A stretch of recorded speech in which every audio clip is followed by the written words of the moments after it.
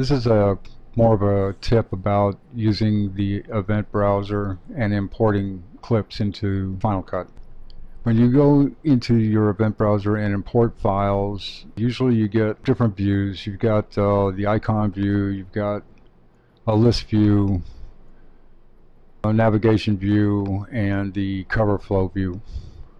What I want to show you real quick is I'm going to go into the Finder here. I'm going to find my December 31 right here.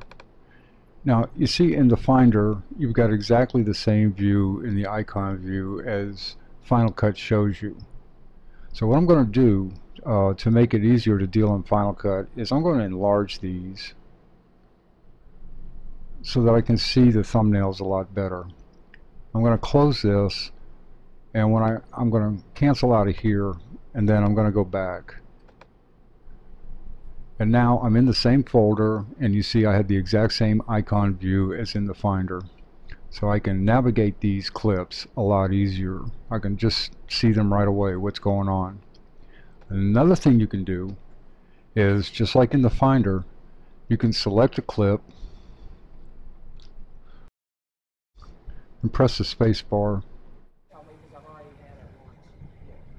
and the clip will play if you've got like a lot of clips of the same subject and you, you're looking for a particular clip, this is an easy way to find it before you actually import the file.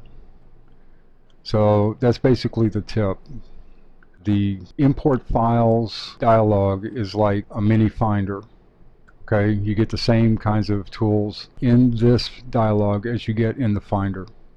So I hope all this stuff helps. Uh, try to keep them short and I'll catch you on the next one.